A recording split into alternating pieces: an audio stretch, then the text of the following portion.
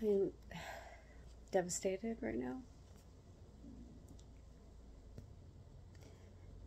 Uh, we just lost Craig four years ago, and now Ronnie's gone. Oh, God, my heart is so broken. well, I met Ronnie when I was around 17, 17 or 18. And I went to this party up in Hollywood Hills. I think it was Hollywood Hills or the Valley. It was Barry Goldwater's party. And I was friends with his agent. I don't know why, I don't remember, but she introduced us. And I was there with my boyfriend at the time. And we were having so much fun, and Ronnie was just making me laugh the whole entire time. And I didn't really know who he was, obviously. And I wasn't really a big fan of his mom. You know, I wasn't into her music. But of course, I knew who she was, but I didn't know who he was. And we became really, really good friends. At the time, he was um, with his longtime, pretty much common law wife, Tarana, and they have they had two kids together. And I loved her, and I still do love her. Um, such a beautiful person, so funny and kind hearted. And uh, when I was around 19, Ronnie had needed someone to move into his condo that his mom got him.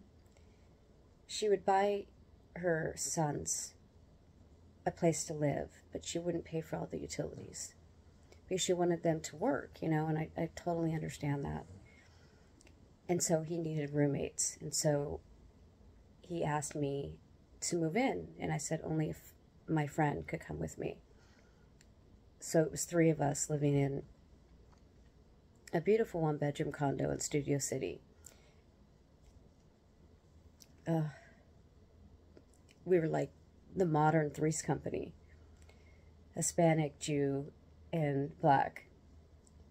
And she was like the dingy blonde, and I was the one that, you know, the Janet you know, I always had to take care of all the bills, and he was goofy. He's funny, goofy, extremely talented, the best bass player I've ever seen, you know, just, but he could have been a comedian.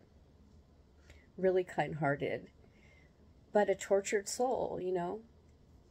He definitely had been through things in his life, and he wasn't the spoiled celebrity son, you know, he wasn't like that he was humbled. He was good. He he wasn't spoiled. Yeah, his his mother would send designer clothes to him maybe once a year. He would have a closet full of designer clothes, and he wasn't into that. He didn't care. He just wanted her love, you know. And she would come to visit, and we would all meet up at Ma's house. His grandmother, who really was like a mother to him, uh, Tina had bought her a house in Studio City up in the, um, up on the hill, and so that was kind of the meeting place for everyone. You know, the cousins and the sons and everyone would meet up there, and it was glorious. It was like some of the best times of my life. She was such a good cook, and she made the best peach tea I've ever tasted to this day. Um, so she had passed, and then his aunt had passed. He was very close to her. Everyone just was passing, you know. Craig committed suicide four years ago. That was that was really hard because I only have good memories of them, and they were the family that I didn't have. I really didn't have a family back then. That's what uh, a lot of people don't understand. That they became my family. Elaine, Jackie, his cousin, Craig, Ma, Ronnie was the brother I never had. or, yeah, my brother wasn't really there, and so